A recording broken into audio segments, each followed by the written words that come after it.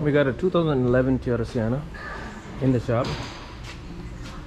The ABS light was on, and uh, it was given a code for um, front left side. Open or short in front speed sensor left hand circle. So when I check the data,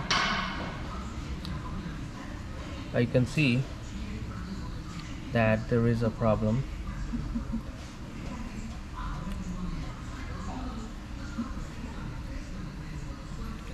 I can see there's a problem in the front left side.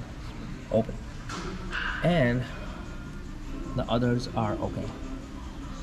So also when I just check the speed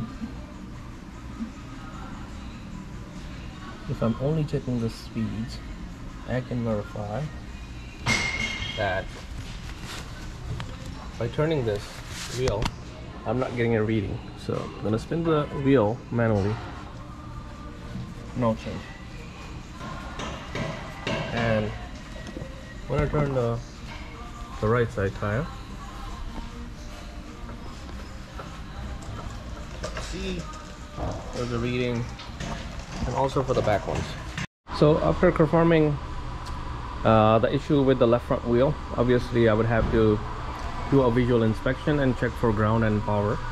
So you know starting from the sensor where it's fit in it all looks good.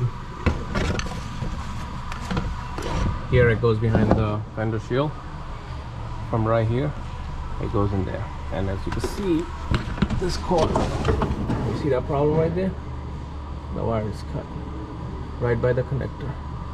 So we're gonna have to repair that connector or replace the sensor that should take care of the issue. Thank you.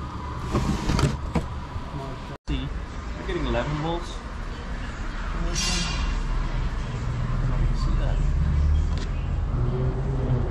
So that's our 11 volts right there on one connector. And then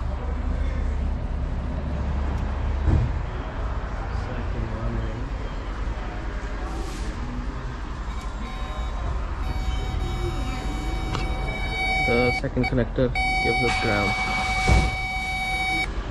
So that tells us you know the connection from further back is okay. Just gotta replace the sensor.